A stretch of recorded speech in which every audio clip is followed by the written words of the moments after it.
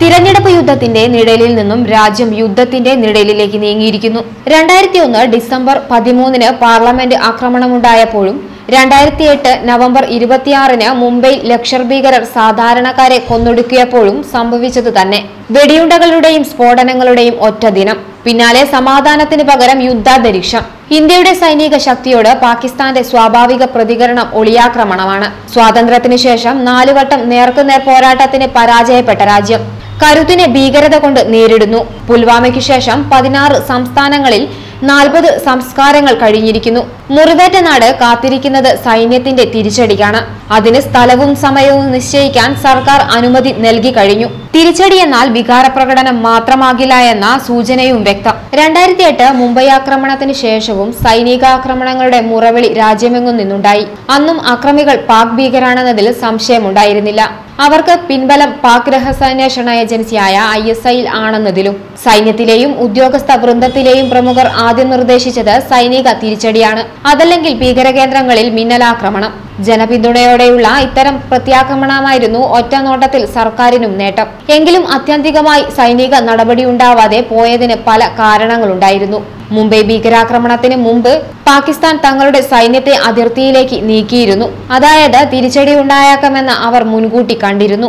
മുംബൈ ആക്രമണവുമായി ബന്ധപ്പെട്ട ആസൂത്രണത്തിന്റെ ഭാഗമായിരുന്നു സൈനിക നീക്കവും. ആക്രമണത്തിന് പിന്നാലെ ആവലാതിയുമായി യു എന്നിനെയും രാജ്യാന്തര സമൂഹത്തെയും ആദ്യം സമീപിച്ചത് പാകിസ്ഥാനാണ്.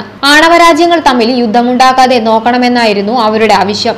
യുദ്ധത്തിനിറങ്ങിയാൽ മുംബൈയിലുണ്ടായത് വിസ്മരിപ്പിക്കുന്നതെന്നും രാജ്യാന്തര സമൂഹത്തിന്റെ പൂർണ പിന്തുണ നമുക്ക് ഉറപ്പിക്കാനാവാതെ വരും ഇന്ത്യ അനുമാനിച്ചു. ഭീകരകേന്ദ്രങ്ങൾ ലക്ഷ്യമിട്ടുള്ള പ്രത്യാക്രമണവും ഉദ്ദേശിച്ച ഫലം നൽകുമായിരുന്നില്ല. കാരണം ജനവാസ മേഖലകളിൽ തട്ടിക്കൂട്ടിയ താൽക്കാലിക സങ്കേതങ്ങളുണ്ടായിരുന്നു ലക്ഷർ ഭീകരരുടേത്. നൂറുകണക്കിന് സാധാരണക്കാരുടെ മരണം ഒഴിവാക്കാനാകുമായിരുന്നില്ല. ആഗോള സാമ്പത്തിക പ്രതിസന്ധിക്കൊപ്പം യുദ്ധമുണ്ടാകുന്നത് ഇന്ത്യയുടെ വരുന്ന സമ്പദ്വ്യവസ്ഥയ്ക്കും തിരിച്ചടിയാകുമായിരുന്നു. വ്യക്തമായ തെളിവുകൾ ശേഖരിച്ചും അത് രാജ്യാന്തര സമൂഹത്തിന് മുന്നിൽ സമർപ്പിച്ചും പാകിസ്ഥാനെ ഒറ്റപ്പെടുത്താൻ കഴിഞ്ഞതായിരുന്നു ഇന്ത്യയുടെ പ്രധാന നേട്ടം. അന്ന് സൗദി അറേബ്യയും ഗൾഫ് രാജ്യങ്ങളും രാജ്യാന്തര സമൂഹവും ഇന്ത്യക്കൊപ്പം നിന്നു.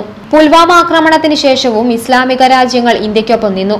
U Russia Japan U K Israel തുടങ്ങി പ്രമുഖരാകെ ഇന്ത്യയെ പിന്തുണയ്ക്കുന്നു. പാകിസ്ഥാൻ ഭീകരതയുടെ താവളവും ഇന്ത്യ ഭീകരതയുടെ ഇരയുമാണെന്ന ബോധ്യം രാജ്യാന്തര സമൂഹത്തിനുണ്ട്. അന്ന് രൂപപ്പെട്ട ദേശീയ സാഹോദര്യവും ഇത്തവണ വീണ്ടും കാണാനുമുണ്ട്. തിരഞ്ഞെടുപ്പ് അടുത്തു നിൽക്കുമ്പോൾ പ്രതിപക്ഷം സർക്കാരിനെതിരെ ശബ്ദമുയർത്തുന്നില്ല. രാജ്യം ഒറ്റക്കെട്ടാണ്. എന്നാൽ മുംബൈക്ക് ശേഷമുണ്ടായ നടപടികൾ അന്നത്തെ ആഭ്യന്തര രാജ്യാന്തര സാഹചര്യങ്ങളെ ആശ്രയിച്ചായിരുന്നു. ഇത്തവണ അതിന്റെ തനിയാവർത്തനം മതിയാവില്ല. കാശ്മീർ വീണ്ടും യുദ്ധക്കളമാവുകയും കൂടുതൽ ഭീകരാക്രമണങ്ങൾക്ക് വഴിതെളിയിക്കുകയും ചെയ്യുമ്പോൾ ഇന്ത്യ ഒരു ചുവടുകൂടി മുന്നോട്ട് വയ്ക്കാൻ നിർബന്ധിതരാകുകയാണ്. രണ്ടായിരത്തി എട്ടിന് ശേഷം ഇന്ത്യയ്ക്ക് അനുകൂലമായി രൂപപ്പെട്ട രാജ്യാന്തര നിലപാട് അതിന് സഹായകമാണ്.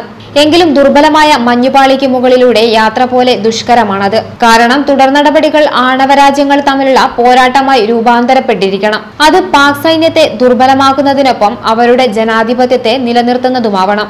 അതോടൊപ്പം നമ്മുടെ രാജ്യത്ത് ന്യൂനപക്ഷങ്ങൾ ശിക്ഷിക്കപ്പെടാതിരിക്കുകയും ഇന്ത്യ എന്ന ആശയം നിലനിൽക്കുകയും വേണം. അന്വേഷണം ഡോട്ട് കോമിന് വേണ്ടി അനുശ്രീ വത്സൻ.